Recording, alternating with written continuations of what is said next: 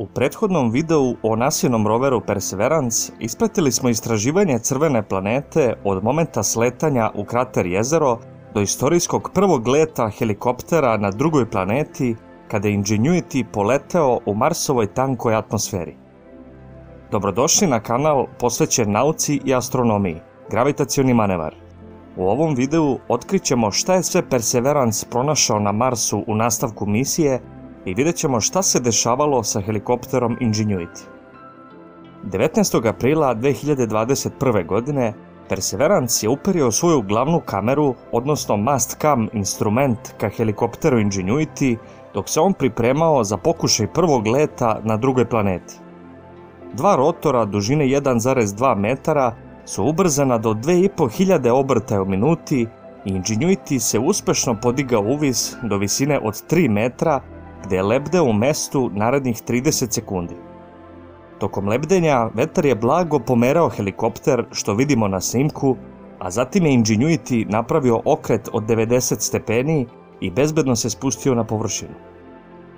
Crno-bela kamera sa donje strane Ingenuity-a je uslikala ovu sjajnu fotografiju na kojoj vidimo senku helikoptera u letu, a ova kamera omogućava helikopteru da se pozicionira u prostoru i da automatski leti što je od ključne važnosti pošto direktna kontrola helikoptera sa zemlje nije moguća usled velikog kašnjenja signala između zemlje i Marsa. Softverskom analizom snimka inženjeri su uspjeli da izoluju oblak prašine koji je helikopter podigao tokom prvog leta, što vidimo na ovom snimku. Već sljedećeg dana došlo je do još jednog prvenca na drugoj planeti, kada je instrument MOXIE na roveru Perseverance proizveo 5,37 grama kiselnika iz Marsove atmosfere, što je od izuzetne važnosti za buduće misije sa ljudskom posadom.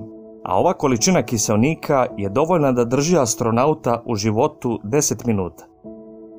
MOXIE instrument funkcioniše tako što pomoću spiralnog kompresora kompresuje Marsovu atmosferu, koja je većinski sačinjena od ugljen dioksida, a zatim ga zagreva na 800 stepeni kada se ugljen dioksid rastavlja na ugljen monoksid i kiseonik. Dva dana kasnije Ingenuity je izveo drugi let na Marsu, a ovaj put se popeo do visine od 5 metara, zatim se pomerio 2 metra u stranu i nazad kako bi testirao kretanje i kontrolu tokom leta. Ovaj put je izvedena rotacija od 180 stepeni i nazad kako bi kamera u boji fotografisala horizont i konačno se bezbedno spustio na tlo. Ingenuity je morao biti u stalnoj komunikaciji sa roverom Perseverance radi prenosa podataka na zemlju i rover je iz tog razloga malo istraživao površinu tokom ovih test letova, a većinu vremena je proveo fotografišući površinu u potrazi za zanimljivim metama za istraživanje. Treći let helikoptera Ingenuity se dogodio 25. aprila i ovaj put su inženjeri postavili ambiciozniji cilj, a to je bilo poletanje na visinu od 5 metara, zatim horizontalna translacija u dužini od 50 metara, nakon čega se helikopter vratio nazad i sleteo na isto mesto odakle je poleteo. Prilikom horizontalnog kretanja, helikopter je dostigao brzinu od 2 metra u sekundi, a ukupno trajanje leta je trajalo oko 1 minut i 20 sekundi. Kamera u boji je ponovo korišćena kako bi se fotografisao okolni teren i na jednoj od ovih fotografija vidimo rover Perseverance što je fantastično, a crno-bela kamera sa donje strane helikoptera je zabeležila ovaj niz fotografija gdje vidimo kretanje senke po površini tokom leta. U ovom momentu misije razmatrane su dve potencijalne rute za istraživanje površine. Severna ruta bi vodila Perseverance pored dva velika kratera, kao i pored mesta pada toplotnog štita i padobrana, a južna ruta bi obišla peščane dine i rover bi se uputio ka izolovanom delu rečne delte kako bi ispitao stene koje sačinjavaju njene stranice. Odlučeno je da će tokom prvog dela istraživanja Perseverance ići južno po obodu peščanih dina, jer su fotografije sa rovera i helikoptera prikazali interesantnu geologiju i stene, što je zainteresovalo naučnike misije. Primarni cilj rovera Perseverance jeste uzimanje uzoraka tla pomoću robotske ruke kako bi ih buduća misija pokupila i vratila na zemlju za dalje istraživanja u potrazi za dokazima postojanja života u prošlosti Marsa. Tokom drugog dela istraživanja, Perseverance će se uputiti severnom rutom ka rečnoj delti, a u planu je da rover stigne do delte tokom naredne godine ukoliko se nešto ne promeni. Četvrti let Ingenuity-a je podrazumevao kretanje ka jugu kako bi pratio kretanje Perseveransa i cilj je bilo pronalaženje i fotografisanje potencijalnog mesta za sletanje. Međutim, pri pokušaju da poleti 29. aprila, desio se problem sa softverom na helikopteru kada računar nije mogao da učita program za poletanje, ali ovaj problem ubrzo rešen resetovanjem računara.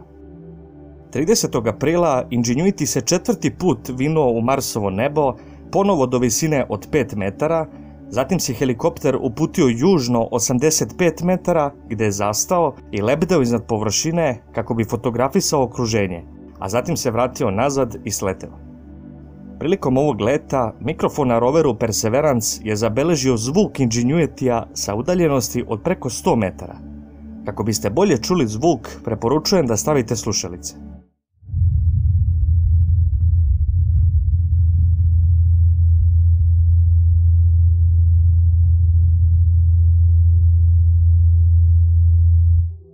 Na ovoj fotografiji vidimo lokaciju koja je odabrana kao mesto sletanja za peti let koji se dogodio 7. maja kada je helikopter odleteo 125 metara južnije, zatim se popeo na visinu od 10 metara i bezbedno se spustio na površinu. Međutim, ono što je zanimljivo jeste to da je Perseverance tokom snimanja ovog leta zabeležio i dva vihora na površini, što vidimo na ovom ubrzanom i obrađenom snimku, što je prosto fantastično. Nakon petog leta odlučeno je da Ingenuity postane izviđač za rover Perseverance i uveliko su planirani dodatni letovi ka jugu, a tokom Sola 78 Perseverance je putem robotske ruke i kamere Watson analizirao ovu stenu izbliza. Teren oko rovera je ispunjen brojnim krupnim stenama, što vidimo na ovoj fotografiji lokacije koja je nazvana Santa Cruz, a na mapama iz orbite vidimo da je Perseverance morao da zaobiđe veliko polje peščanih dina koje su nazvane Seitah, što na jeziku Navaho indijanaca znači okružen peskom. Šesti let Ingenuity-a se dogodio 23. maja kada se helikopter uputio 215 metara južnije sa promenama pravca kako bi uslikao stereo fotografije terena, a planirano je da Ingenuity prvi put sleti na teren koji nije ranije izviđen.